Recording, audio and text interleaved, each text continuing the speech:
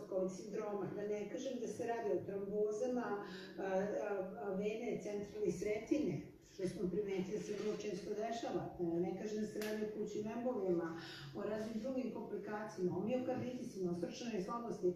Tako da je vakcinacija i u ovom slučaju najvažniji način da se izađe iz tih katastrofalnih posledica COVID-a, jer vi kad preležite COVID, ne znači da je sa COVID-om gotovo, COVID je e, problem koji nastavlja mnogo da muči i ovog trenutka kad izađu iz COVID bolnice. Dakle, zakon